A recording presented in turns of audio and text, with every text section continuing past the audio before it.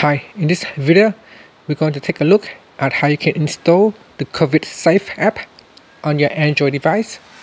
Now the first thing to do is go back to your home screen by tapping the home key. Then from the home screen, swipe up to go into the app screen. Or you can tap on the apps uh, screen button if you got one right here. And that will take you to the app screen and then tap on Play Store. You need to swipe across to find Play Store now that Play Store is open. So in Play Store you want to search for the app. So say uh, I'm going to go back to the Play Store home screen here. And then we want to tap on the search text box. And uh, you want to uh, type in COVIDSafe and in here tap on COVIDSafe and tap on install button. So tap on the install button and this will allow you to install the COVIDSafe app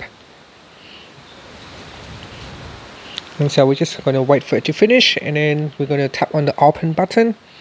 So now I'm going to tap on the open button and here we're going to see uh, what it said I want to help. So we're going to tap on I want to help and then here it says Bluetooth signals are used to determine when you are near another COVIDSafe user. So make sure that uh, in order for you to use this app you need to turn on your Bluetooth and you can do that by swiping down at the top and tap on the Bluetooth icon to make sure it is uh, switch on. Then tap on next. And in here we need to um, register. And then there are some information about registration and privacy, the use of your uh, data and what is being collected. Next, uh, tap on the next button. And then you have to consent. So my registration information to allow contact tracing by state and territory health officials my contact information from other COVIDSafe user after they test positive. So these are the information that they are collecting. If you agree, tap on I agree button. And here you have to put in your name, uh, your age, and uh, postcode. So for example, just put in the name, your age range, and then tap on select postcode, and then tap on done, and then tap on continued. In here you have to put in the phone number now you will get uh, to send a they will send you a pin. You need to in the pin and then you can tap on next.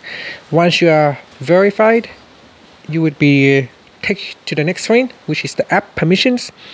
In here so select proceed to enable bluetooth location permissions and battery optimizer. So the apps will need to use bluetooth location and battery optimizer. So tap on proceed to move next. And here we need to grant the permission to an app so we're going to tap on allowed and then tap on continued. And that's it. So now the apps is uh, installed on your android phone. It has successfully installed. And in here you can uh, look at share COVIDSafe. Uh, you can uh, check out the health official records. Um, has health official contacted you? So it's just like a question answer thing. So let's take a look. So you can check on that. You can look at that share so you can check on that. Uh, get the coronavirus app. So you can also download the app as well and latest news and update. So there isn't much in here. So I don't know how it's going to notify you by text or by what. So this is the asks you to um, to get another to another app. So asks you to download another apps for more info. But that's the app it's right there so you can see uh, once it is installed and if I launch it that's it. So there is nothing else. Um, there's nothing you need to do. It will work on the background. So there's nothing you can really do really. It's just share. Um, it actually has the has the official contacted you. You can choose yes or no. So you can just answer it and then that's it. So that's all it is. So the apps basically is, is always going to be work on the background. So here is a notify notifications.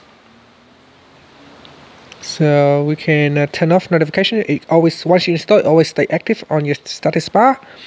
You can tap on the settings icon and then turn off notifications if you don't really want to see it. So that it's still running but it just doesn't show up on your notifications uh, status bar right there and that's it how that is how you can install the COVIDSafe app on your mobile device uh, especially for your Android phone Thank you for watching this video. Please subscribe to my channel for more videos.